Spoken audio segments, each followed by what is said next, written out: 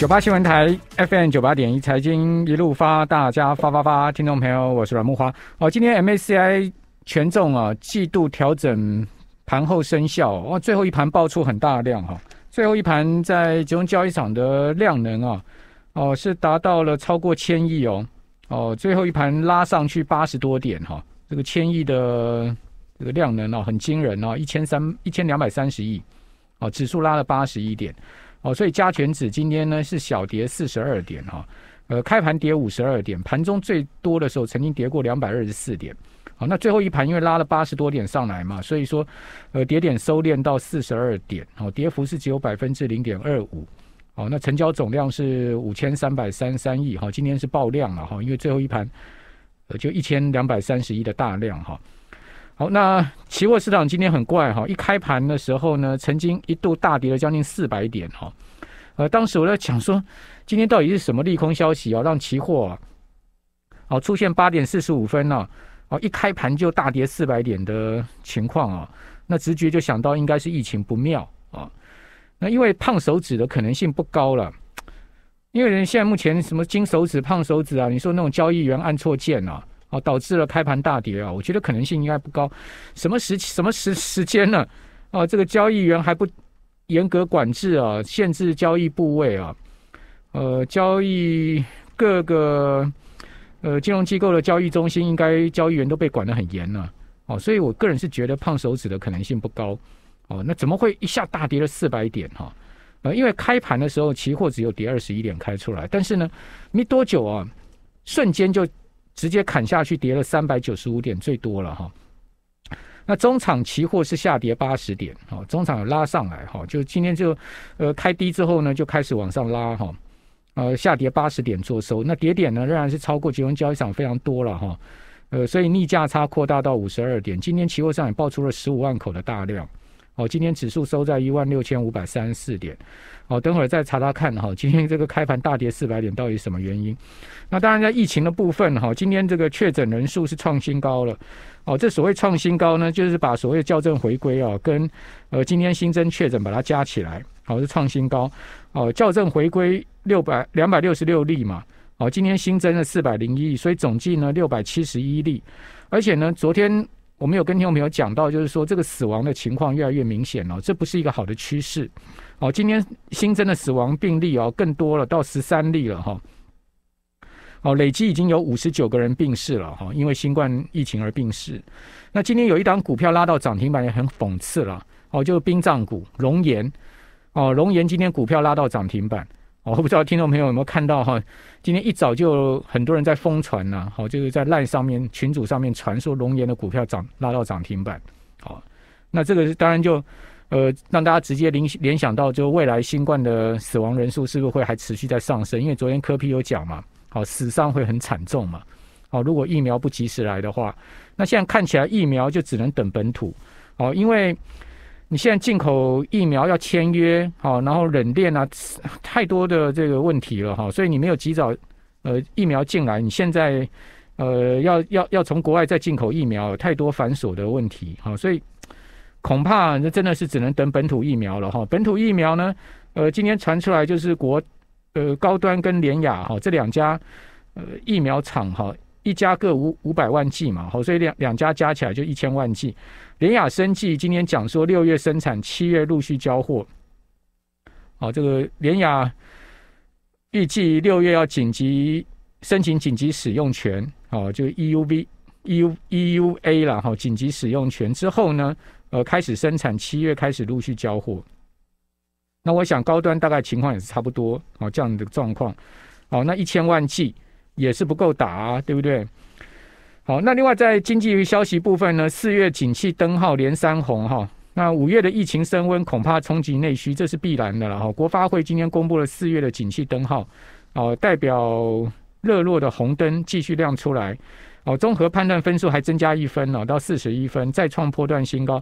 哦，四十一分非常高了，因为总分四十五分了，四十一分是直接来到一九八七年当时的，一九八七年，你想多少年前？哦，当时的最高分哈，也就到过四十一分。哦，那国发会就坦诚说啊，因为疫情升温啊，所以说消费动能势必受到冲击。好，所以后续的发展需要审慎的关注。好，那详细的我们刚刚所讲的相关消息啊，我们等会儿在呃访问罗老师的时候，在有时间再帮听众朋友做穿插哦。好，那么先来请教大来国际证券投顾的罗文斌分析师罗老师，你好。啊，孟华兄好，各位听众朋友们，大家好。好，那罗老师，您今天看这个盘怎么看呢？因为最后一盘爆很大量嘛，哈，这个 MACI 的季度调整生效，我看很多股票啊，今天最后一盘也都是爆出非常大的量啊，像阳明最后一盘爆出了快十三万张的量，哦，这也真的蛮惊人的。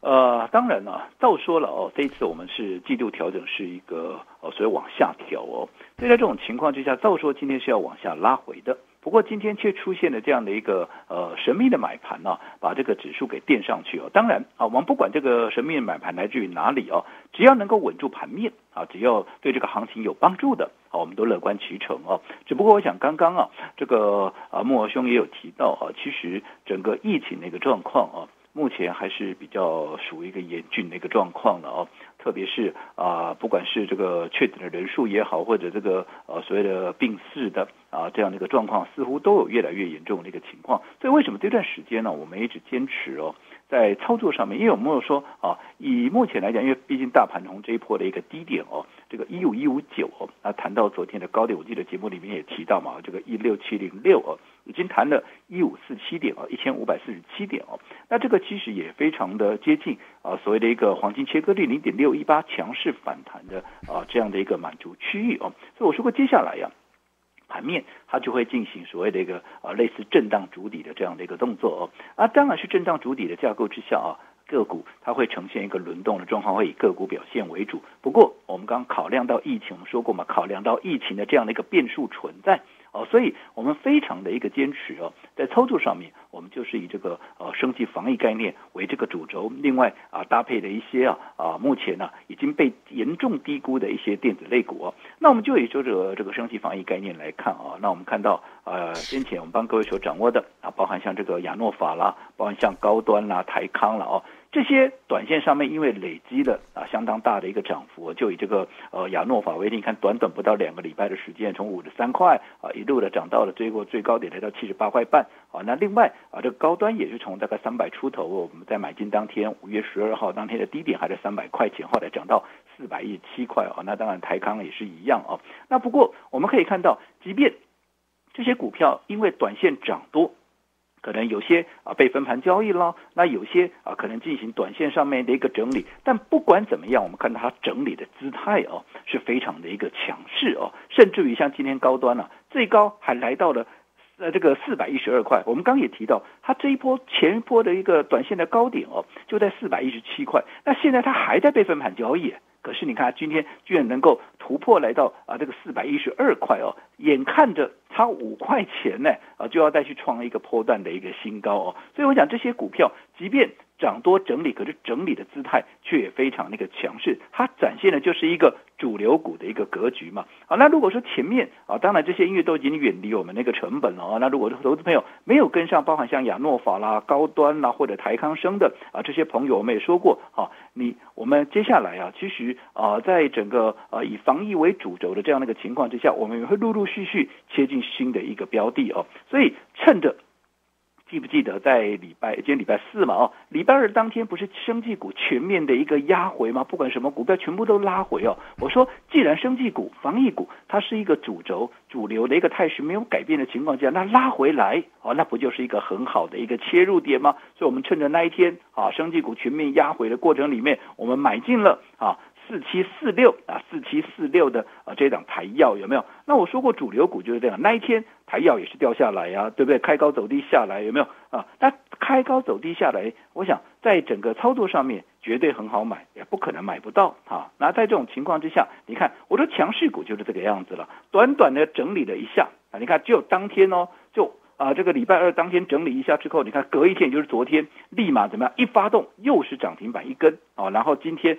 再来一根，你看礼拜六啊，这个礼拜二，你趁着低档买进，趁着拉回买进，你看接着下来两天，是不是就是两根的涨停板？你看那一天台这个台药低点还在八十一块四，而今天的高点已经来到一百零二，才两天的时间价差超过二十块钱，而且我说过这才刚刚开始，好，因为后续我认为以台药第一季的获利九点八四，第二季光是四月份就四点六八，前面四个月就已经赚了将近十五块，后面还八个月，哦，可想而知，它今年的获利必然会出现大爆炸啊！那在这种情况之下，现在你看股价今天即便拉出第二根的涨停板，创下破断的新高，来到一百零二。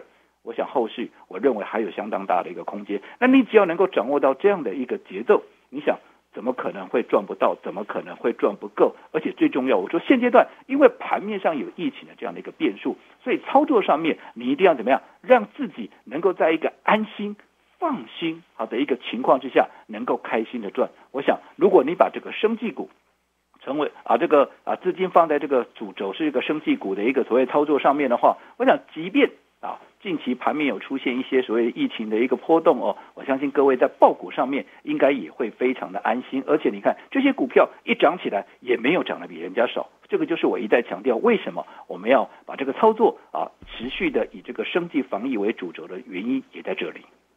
好，那今天大盘是下跌百分之零点二五的幅度，跌四十二点哈，指数收在一万六千六百零一点啊。如果你看指数的 K 棒哈。它虽然今天下跌啊，但是呢，仍然是呃在月线跟季线之上哈。月线现在目前在一万六千五百一十一点，好，季线在一万六千五百五十二点，所以很明显的，现在目前的 K 棒哈，呃是在月季线之上。那今天盘中的低点，刚刚有报告过说下跌两百二十四点嘛哈，当时指数的低点哈是一万六千六百零一点，哦，等于说是回撤呃这个五日线了哈。呃，对不起，低点是一万六千四百一十九点，高点是一万六千六百零一点，哈，好，也就是收盘的点位就是今天全日的最高点，哈，因为今天开盘是直接跳空下跌五十二点，啊，那收跌四十二点嘛，好，那我们看到盘中的低点一万六千四百一十九点，哈，是回撤五日线，那今天回撤五日线留下下影线哦，算是回撤成功了哈，五日线在一万六千四百九十六点，好，所以今天这个。呃，K 棒收的还算不错哈。那个昨天是收了一个十字线嘛哈，今天再收一个呃带下影线的 K 棒，我个人觉得今天这个盘已经算蛮强的了哈。啊，不过下午两点钟公布出来这确诊的数字啊，让大家又吓了一跳。哦，不晓得明天情势会怎么发展，因为盘后现在目前是下跌七点哈，小跌的情况啊。当然今天晚上美国盘也是变数了哈。好，这个在整个 K 棒的部分哈。另外我们看到呃，在今天强势类股的部分还是航运股哈。航运股今天整体指数涨幅有将近百分之五哦，占大盘三十三趴的成交比重。那半导体指呢是下跌百分之零点三七，哦，占大盘成交比重是只有二十二趴。哦，电子指哦下跌百分之零点三七，成交比重呢是四十一趴。哦，金融指呢下跌百分之零点三二，好，占大盘成交比重只有四点八趴。呃，钢铁指下跌百分之零点二六，好，占大盘的成交比重是五点七趴，所以很明显的，今天市场的焦点跟重心啊，仍然是摆在航运类股上面哈。航运类股这一次的表现呢，也相当的抢眼。今天万海在拉涨停板，万海今天收在一百四十块半哈，已经是创新高了，再创波段新高，每天就是这个嘎上去啊，一路嘎上去哈。好，那另外我们看到。呃，阳明呢，今天是所有股票里面成交值第一名的哦，成交了七十五万张哦，真的很惊人哦。最后一盘将近十三万张的大量哈，阳明今天股价涨了四趴哦，收在一百零三块哦，上涨了四点二元。那今天的股价呢，盘中曾经哦再创波段新高哦，哦最高的时候到过一百零五块半哈，再创新高的行情哦，也就突破了哈，呃先前。呃，五月十一号的高点了哈，那五月十一号之后呢？因为整个大盘重杀嘛哈，阳明也曾经一度回落到啊六十六块，哦，现在已经到了这个一百零五块了，哦，一百零三块零五块了，哦，从六十六块弹上来，你看弹了多少？哦，就是从五月这个呃最低点的五月十七日，五月十七号弹上来，从六十六块弹到今天收盘一百零三块。另外长隆哈。呃，今天相对涨幅比较小，哈，只有百分之二点五的幅度，涨两块一，哦，收八十七块七。长隆股价相对就比阳明、万海落后很多，因为它前波高点也是最高点呢，就是一百块整，好，那今天只有还不到九十块，好，所以显示呢，如果货柜三雄里面最强，现在目前排序是万海，好，接下来呢就是阳明，哈，再来才是长隆。那今天散装的表现也还不错啊，像是呃这个惠阳 KY 啊这些股票都有拉尾盘了哈。那这样在钢铁股里面是点放，好像海光今天就拉这个钢筋的海光今天就拉到涨停板，好，但是整体钢铁股并不是太强，中钢还是下跌零点二五元哦，跌幅是百分之零点七二，好收三四点六。不过看起来钢铁股有好像要转强的味道哈，那我们可以值得注意啊。那台积电呢尾盘也报了。将近四万张的大量哈，下跌三块，做收跌幅百分之零点五，收在五百八十二块。好，相对半导体股票，昨天强一天之后呢，今天还是弱势的格局哈。好，那呃，接下来操作策略呢，罗老师。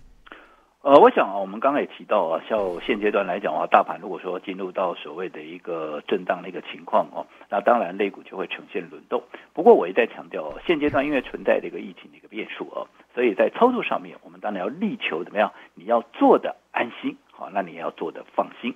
好，那除了好把这个资金放在生技股啊，这个防疫概念股能够做的安心放心以外，还有什么族群可以让我们觉得安心放心呢？那无非是怎么样？如果说这个族群它过去已经经过大幅度的一个修正。而且时间呢，也经过长时间的一个整理，甚至于筹码也已经经过彻底的一个沉淀。那这些股票啊，它领先整理，领先落地，当然我们抱起来也会放心，也会安心啊。这个就是我们说过，现在有很多的电子股，特别是被低估的一个电子股哦。那目前法人呢，也都是眼睛睁大的。打这个盯着这些股票，因为这些股票也是接下来啊最有机会当行情一稳定之后，接着下来往上这个领头往上冲的一个股票嘛。所以这个礼拜啊，我们看到我们陆陆续续的，除了说啊把资金掌握在这个呃升级防疫概念股之外，我们是陆陆续续也帮各位啊掌握了一些啊被低估，而且我认为接下来啊会有非常强悍表现的一个电子股哈，就好比说四九六一的啊这个天域有没有？我们说过，其实这张股票它为什么被低估？因为它光第一季。好，就赚了四块多。好，一到四月赚了七点六六。好，前四个月就赚了七点六六，那后面还八个月。依照法人目前的一个看法哦，我说这一档股票天域四九六一的天域至少二十五块。好，EPS 是有机会的哦，是呃这个机会非常那个大哦。那在这种情况之下，如果说今年的 EPS 是二十五块的话，那你想 IC 设计它的本益比应该多少啊？十五倍、二十倍？那不管十五倍也好，二十倍也好，你去看看它当时我们在做它的股价，一路从三百九十五跌到两百零九块。你看当时两百零九块面对着二十五块的呃这个 EPS，你想这样的股价难道没有被严重低估吗？所以你看这种股票。既然被低估，一发动怎么样？连续两天就是两根，你看礼拜一跟礼拜二再来一根，礼拜三震荡一下，继续再创新高，而今天也是持续再创新高。四天下来啊，四天下来，除了拉出两根涨停板以外，累积四天的涨幅也高达二十七趴。这个就是我们帮各位掌握的第一档的一个被低估叠升的电子类股，我相信也没有让大家失望。好，那接着下来第二档是什么？接着下来第二档，我们说过，如果是你来不及跟上天域的，那么没关系，二。四六五的啊，立台，我说这张股票也是一样，第一季赚一点二五，光是四月份一个单月有可能能够挑战两块钱，一点二五加上两块钱，这样都三块半左右了哦。那如果三块半是前面四个月，那后面我说还有两季啊，就后面还有两个啊，总共有八个月的一个时间，今年也非常有机会能够怎么样挑战一个股本。那如果说能够挑战一个股本的话，那你想以当时你看我们在啊这个当时在节目里面跟大家分享，甚至我们还开放让大家来登记的时候，你看它的股价才多少，也不过就四十三块多，四十块出头嘛。你看今天都已经来到五十三块，你看从两天，那一天一发动。对不对？礼拜二一发动，今昨天再一根也是一样，一发动就是两天两根，今天再创新高。三天下来，除了拉出两根的一个涨停板，另外怎么样再创新高？三天下来也是累积了二十五呃这个二十五趴的一个涨幅。所以我说这些被低估的电子股一发动就是有这样的一个表现。好，那如果说前面啊。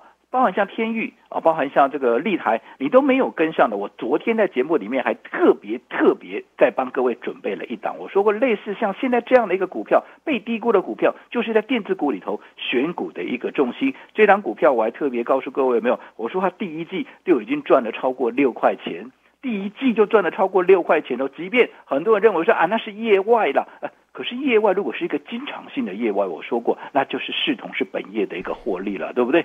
所以在这种情况之下，如果说单季能够赚六块，让你掐头去尾啊，算五块好了，对不对？因为你说有一些是业外的关系，那如果后面还有三季，你像加总下来，它。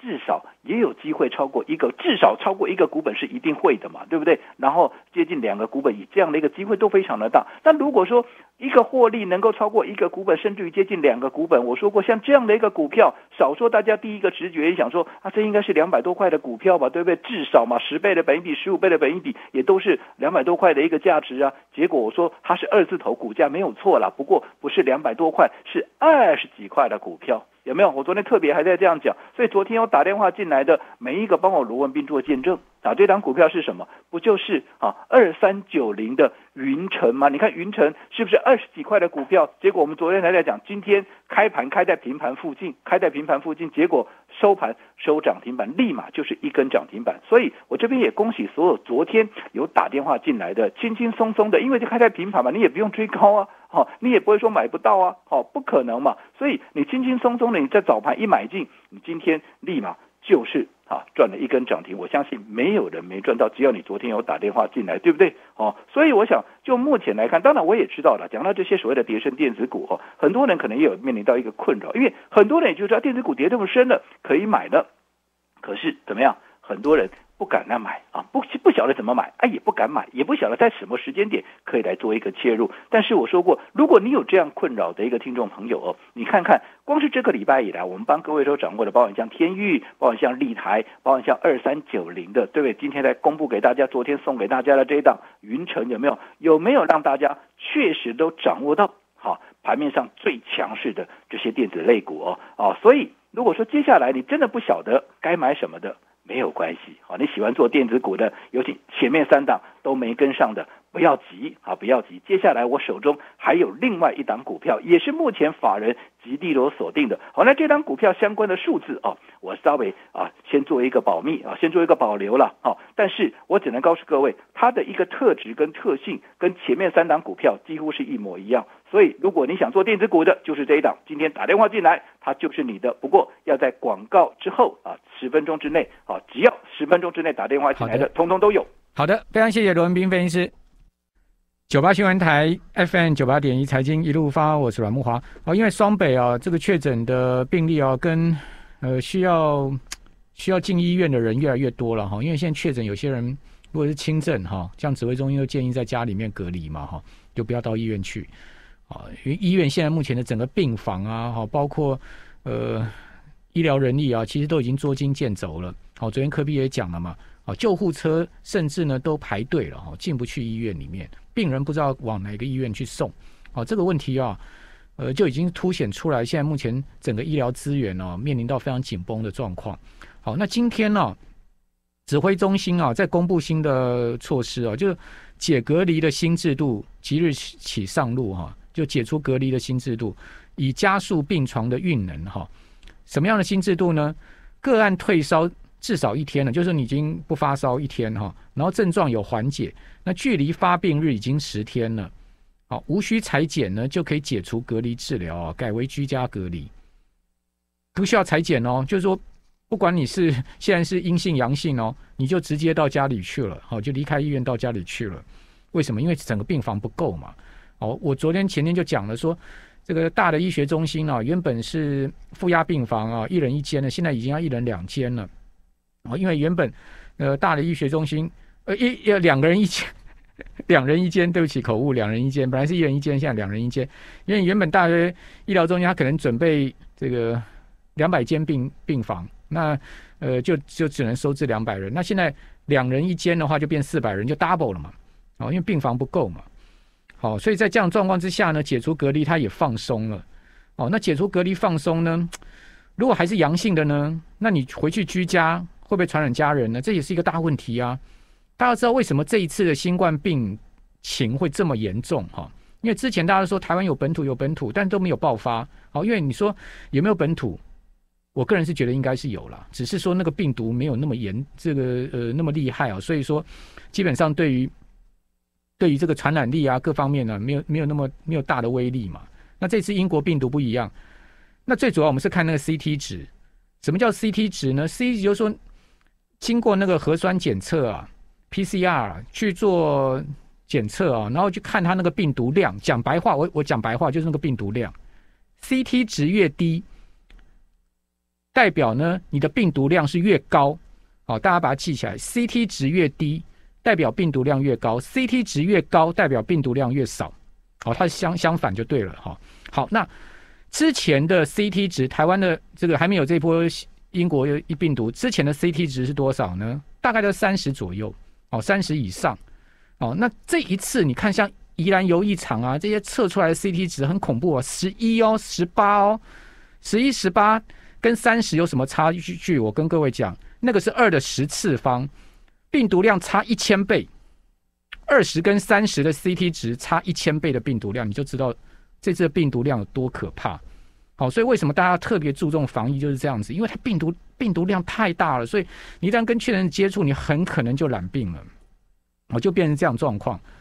好，所以说呢，这这一次为什么致死率啊、重症患者要呼吸器的人这么多？就是因为它病毒量大，而且呢，这个毒性更高了嘛。讲白话就是这样子啊，哦，所以各位要特别注意哦。现在目前这个居家隔离的，就是说这个又放松了，好吧，那也能，你现在怎么办呢？现在只能等这个本土本土疫苗赶快出来，是不是？哦，这个紧急授权，赶快出来一千万剂，赶快打，哦。好，那我们今天这两段呢有直播啊，我们要来请教新书作者古鱼哦。古鱼出了一本书叫《最强存股秘籍》哈。那古鱼在我们节目现场，因为我们现在来宾全部都改线上啊，不能请本人来到我们节目现场哈。好，古鱼你好，哎，古那个主持人好，木华哥好，那各位听众朋友们大家好。好，古鱼，你这本存股秘籍教了大家很多方法嘛哈。那我看了，我看了，其中有很多招数啊，这个很像这个武林秘籍啊，一步一招一招一招一一步一步教大家怎么存股哈。那我挑了几个，这个我我觉得大家应该很需要、很受用的哈。比如说第一个，我想请教你的，你在这本书里面有一个四招挑优质的定存股，因为我们要存股，我们要先先学会存这个挑股票，对不对？哦，要挑对股票，挑对股票，我们存股的效率才会好。好，那你这个四招。这四招到底是怎么怎么悟出来这个心得的呢？哦，悟出来的。事实上呢，我们这本书的部分啊，就是我之前去参加那个东森理财达人秀，做了一个叫做存股 debug 的单元。嗯，哦，然后我们这整个单元的部分呢，大概录了接近两季左右的时间呐。哦，这两季的时间呢，就把我们在节目里面教的各种的心法。哦，全部把它做一个统整。哦，那当然了，我们在这个书里面的话，我们把它分成一个比较入门型的心法，跟一个比较进阶型的心法。哦，那像刚刚木华哥问的话，就是一个比较入门型的心法的这一块。就这四招选股是先比较入门的。哎，对对对，这是一个比较入门的，因为我们讲说入门的部分，就是你不需要花太多的时间，你就可以很快的找到这个资料的。嗯嗯。哦，因为你一开始啊。入门的部分资料就很难找的话哦，很多人都打退堂鼓了。对，所以我们一开始的这个入门的部分一定要尽可能的简单。好，那我们在节目里面的，呃，应该说我在书里面呢教了几个方式哈，我想我们大大概解释一下哦，听众朋友一定一听就懂了啊。首先呢，第一个哦，第一招是什么呢？我们要先选那个有连续配发现金股利的公司。OK，所以存股嘛，股息是重点嘛，对不对？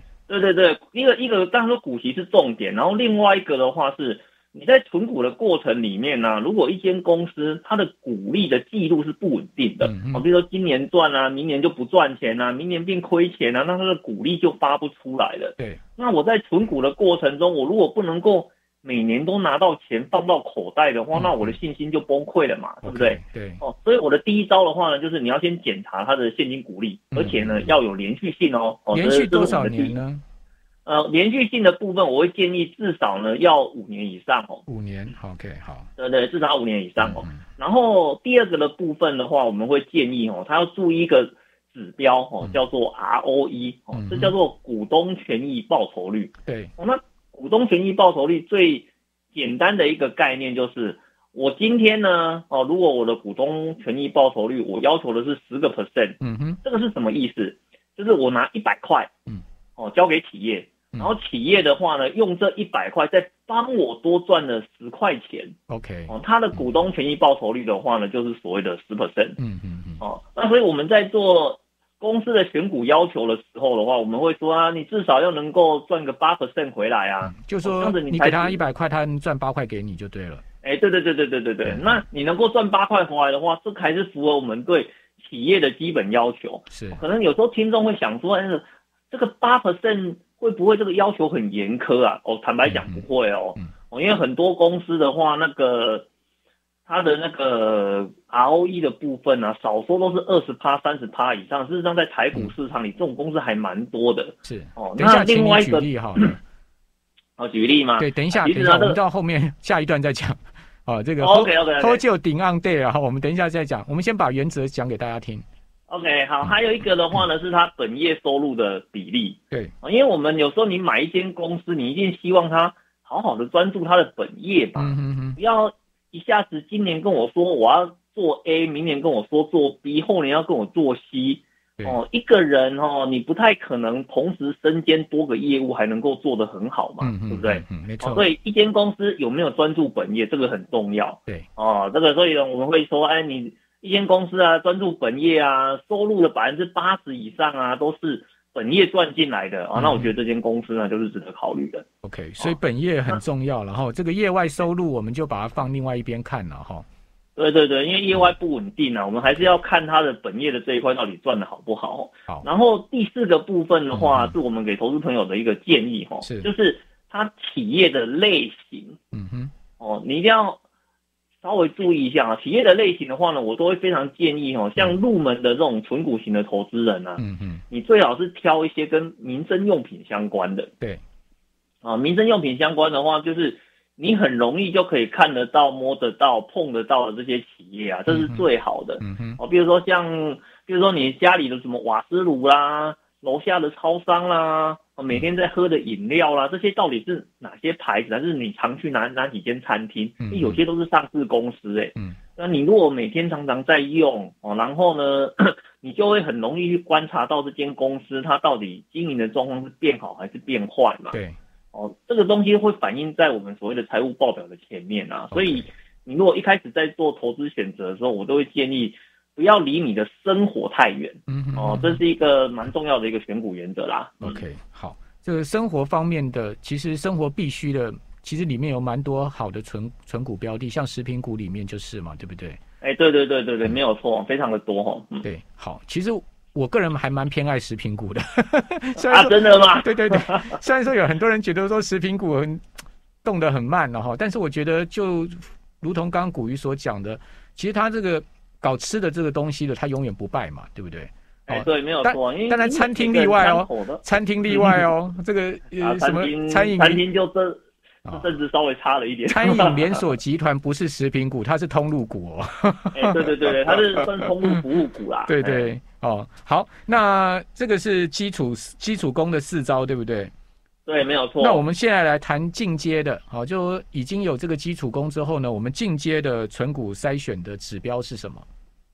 哦，进阶的部分哦，这就需要哦有一点点财务报表的基础，嗯，哦，但是呢，我们帮各位整理几个重点啊。好，哦，首先第一个的话呢，我们要注意它的现金流量。现金流量，嗯嗯，对，现金流量嘛，比如说有些公司他可能会跟你说，我今天赚了一千万，我赚了一亿，对，可是这个钱如果没有流进来的话，这间公司是撑不下去的。没错，啊，所以。这个部分的话呢，如果是进阶指标，我们就建议说，你现金流的部分你要注意一下哈，这间公司到底现金是流入还是流出？嗯嗯。如果一间公司的现金一直呈现流出的一个状况哦，那它能不能够一直持续下去？这是我们要打一个非常大的一个问号。是哦，这那这是第一个。所以自由现金流量这个数字就很重要了嘛。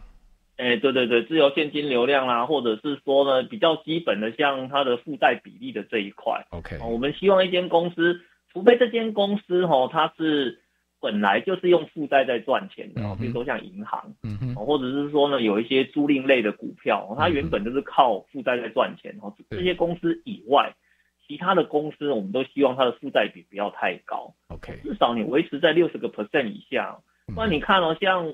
最近市场的波动这么大，那很多公司的话呢，其实它可能会在这一波的打击里面呢，它的获利会呈现一个大幅度的衰退，然后甚至你说像以前金融风暴的时候不是很惨嘛，很多公司摔下去之后啊，就是因为它的负债比拉的有点高啊，以前结果对。结果他就是没有再回来了，没有再回来了。以前曾经有一有一度那个台湾的银建公司倒一票，就是这个问题。我们这边先休息一下，等下回到节目现九八新闻台 FM 九八点一财经一路发，我是阮木花。我们今天访问的是古鱼啊，古鱼出本 Smart 出的书叫做《存股最强的存股秘籍》哈，古鱼的最强存股秘籍。好，那我也时常在这个不同的节目碰到古鱼啊。诶，主要也是在 通神啊，其他节目好像没有碰过。好，那其实对古鱼的这个存股啊，各方面也蛮钦佩。好，那古鱼出了这本书的时候，我就赶快请他来上我们节目，谈一下他的这个存股的方式哈。那刚刚我们教了大家四个基本的招数，现在四招进阶。对，我们现在继续，古鱼继续来把你的四招进阶告诉大家哈。OK，好，那比如说像刚刚提到那个现金流的部分，我们希望一间公司的现金流它是可以持续流入的嘛，那这样子公司的经营才能够做一个比较长线的一个经营嘛。那另外一个部分的话呢，则是呢我们要注意一下它的那个 EPS 跟毛利率哦，它是不是可以持续的维持在零以上这样子的一个水准哈？对，因为有一些公司啊，它可能。产品经营不善啊，毛利率也不好啊，甚至做到是负的。嗯，可是呢，他可能会搞一些业外啊，然后硬去灌出说它的 EPS 变成是一个正的。对，所以呢，我们透过两个指标的交叉比对，我们就可以去了解说这间公司它到底是不是好好的在赚钱，还是搞一些小手段。是，哦，这是第二个。哦，然后第三个的话呢，则是我们要注意一下它的营业利益率啦。嗯哼，哦，营业利益率的话呢，它。我们会换另外一个说法，就是说营业利益率就等同它本业的一个获利的能力。对，所以呢，你营业利益率越高的话呢，就代表这间公司的本业啊到底赚的够不够好。对。然后最后一个的话呢，则是我们的呃，应该算是一个非常进阶的指标，我们把它称为叫做 PEG 哈。对。哎，PEG 的话呢，我们把它称为叫做本益成长比。嗯。那一般来讲，如果是在做选股的过程，其实投资人。呃，我们在存股的过程里面，我们都希望我们存的是一档成长股嘛，对。不对？那如果是成长股的话呢，啊，有时候你看财务指标看老半天，有时候看不懂，没关系，你用 PEG 这个指标的话呢，都非常的简单，你就把 PEG 的数值算出来之后，大概只要落在零点五到二的这个范围，嗯嗯，它基本上它它就会是一档成长股哦。对，好，所以我们通过这种。这几个基本的指标的话呢，就可以去做一些比较进阶的一个筛选哦。好，所以我们有出呃出阶的，有进阶的。其实这这这八招加起来，其实就够选股了嘛，对不对？差不多了嘛。哎，对，没有错，没有错，没有错。好，那我我们现在我网络上在看直播的人蛮多的，有人问到说电信股可以存股吗？你的看法呢？电信股嘛，其实呢，我觉得电信股它比较像是一种。债券型存股的概念。哦，因为呢，我们台湾的那三大电信啊，它的业绩是互相垄断的啦，所以它每年的获利数字跟配息率非常的稳定，嗯。甚至你看像前一阵子不是跌了一千四百多点嘛，对，我们的三大电信的股价几乎纹风不动啊，嗯，哦，所以呢，你如果说你今天呢，你说电信类股可不可以存，绝对是可以存的，只是你要先做一点心理建设。就是你就是只有赚它的值利率而已，你对于它价差的这一块，你不能够抱持太大的一个。你你个人有存电信股吗？呃，电信股的话呢？以那个以前我们有有做电信股的一个存股，那那时候的话，我们存的是中华电信。OK。不过我那时候存的原因的话，是因为呢，我家里用了很多中华电信的服务，比如像手机啦、光纤啊，我都用他们家的。嗯。所以我那时候就去算说啊，我家里到底付给中华电信每年多少钱？对。然后呢，我就去买对相对应的中华电信股票的张数。哦，是哦。哎，对对对对对，我就把它给买回来啊，因为你买一张中华电信大概。呃，一张可以配四千多块嘛？对，所以呢，你就可以去算，说我支出多少，我就买相对应的张数回来，那这样就等同。你好厉害哦！你等于说是用中华电信的股息来付他的这些服务费，就对了。哎，对对对对对对对对对对对，你敢收我多少钱，我就让你自己把钱付回去。哈，其实我当初投资中华电信的概念是这个样子。OK，好，那你说你以前有投资电信股，现在就没有了嘛？对不对？意思就是现在没有了。哎，对对对，我们那，因为我们后来这个部分的话呢，可能我们比较，呃偏向一些成长股跟 ETF 的投资啦，哦，所以像那个电信类股的部分，我目前手上是没有的。好，那接下来你有一个打造不败战队，还有你的股票配置组合，因为我们刚刚是讲选股，那接下来我们选好股之后，其实还是要做组合，对不对？哎，对，没有错，没有错，没有错。那我们在做组合的时候的话，基本上有两个原则哈。啊，首先呢，第一个呢，你要注意每档股票的波动率。嗯。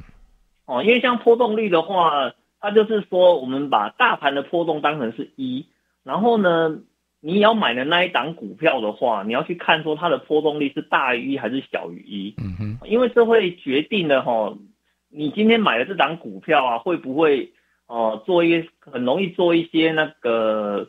呃，超涨或超跌的一个现象啊。对，哦，比如说像台股的话，大家都知，大家都有听过台积电嘛，对不对？像台积电，它的波动率大概接近一点二到一点三。是。所以呢，它要么呢涨得比大盘多，要么就跌得比大盘多。嗯。哦，这个是台积电它股票的一个特性。所以我们讲的是波动率，就是贝塔值嘛，对不对？哎，对对对对，就是那个，就是它很多种说法啦。那其实另外的说法就是刚刚木华哥讲的那个贝贝塔值哈。嗯嗯。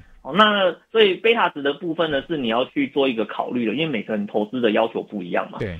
哦，那还有另外一个的话呢，是我们会比较建议哈，就是你在买股票的时候啊，不要全部都集中在同一个特定产业上面去。对。啊因为我们我我我，因为我今天做投资的一个目的啊，其实像我就像我书的标题写的嘛，嗯，我们希望可以投资是躺着就好，不要一直每天去关心它。对。那所以。这样子就会衍生一个前提啦，你必须要把你的投资分散在各个不同的产业里面，因为就像那个木华哥常常在做的一些总金的分析嘛，对不对？我们的景气一定是 always 不停的在循环，那我永远不晓得说今天循环的到底是哪一个产业。那对我来讲很简单啦，我就每个产业都买一点就好了嘛，对不对？不管你怎么循环，我永远都是在这个里面，这样子就好了。嗯嗯嗯嗯嗯，对对，所以这这这是我对投资的一个理解啦。好，那一。一般人大概要多少档股票作为投资组合？你的建议是怎么样？哦，投资组合，其实哦，投资组合的话，应该是说你如果要用最少档达成哦，嗯，其实你就买一档零零五零就好了。是哦，因为零零五零它原本就是台湾的前五十大企业嘛，然后而且它也分散什么金融啊、船产啊、航运啊什么，全部通通都有。所以呢，你要做投资组合最简单就是买一档 ETF。嗯，那你如果是要从个股的角度去切入哈。其实这个数字大概是十档，十档，OK，对，大概是十档，因为你十档的话呢，就可以把一些人为的一个一个意外的话呢，把它给排除掉嘛。对，嗯嗯嗯，好，呃，那接下来你还教大家实战演练哦，踏出存股的第一步。那我们存股第一步怎么踏出去呢？其实存股的第一步怎么踏出去？哈，嗯，哦，其实我们的建议都这个样子。要先去开户啊！哎，真的真的不划算，我真的哦，我我真的觉得这个东西真的是很重要，因为现现在没开户的人应该很少了，因为现在这个上千万人都都有户口了，就是证是有些人是开户之后钱都没有投进去啊，像有时候我在外面上课，像我有时候。我之前在外面上实体课啊，比如说我一次开班三十个人，嗯我里面竟然有一半的学员，他说他对投资有兴趣，可是要么没开户，要么就是开户之后钱都没有投进去，所以他才会去上课啊。呃，不不不，按可是有些是上完课之后他还是没有投进去啊，因为他会怕嘛。哦，所以他就等同说学了之后看了之后的话，他还是没有亲自去实践这一块，那我就觉得这样子会很可惜啦。对，所以其实我觉得存股的第一步就是。你要先开户，然后开完户之后，真的把钱给投进去哦。这件事情非常的、非常、非常的一个重要啦。嗯嗯嗯。哎啊，然后另外一个的话，就是你一旦要开始去踏入投资的这条路之后啊，其实我会给呃投资人的话，他的一个基本的建议就是说，我们希望说你买的第一档的标的物啊，嗯，我希望你可以先去从 ETF 这种产品开始去做着手的动作。OK。因为有时候我们去做选股啊。投资人呢，通常会高估他选股的能力，然后呢，去看清了那个他对那个大盘的一个判断哦。对，所以你如果说你不要说一开始投到市场里面就被吓跑了，或是马上被洗掉的话呢，其实你应该是要先从 ETF 开始买，然后呢，先去建立说你对整个市场的波动的感觉啦，以及你对于亏损的。忍耐的程度啦，你才有办法去好好的做判断嘛。像木华哥，我以前有遇到一个很夸张的例子，嗯，我曾经有遇过那个投资人啊，他传了一个线图给我看，嗯，他跟我说啊，老师啊，怎么办？我买的这一档标的物啊，没想到出现暴跌，对，哦，我现在应该要怎么做处理？他传了张线图给我，我那线图很吓人哦，好像从一个高点然后用直线往下掉，看起来很可怕哦。嗯嗯。可是后来想想不太对，我请他传完整的资料给我，嗯，结果我一看呢，发现他那个掉下来的这个，他是做局部的放大，事实上这一段距离的话呢，只跌了零点六帕而已。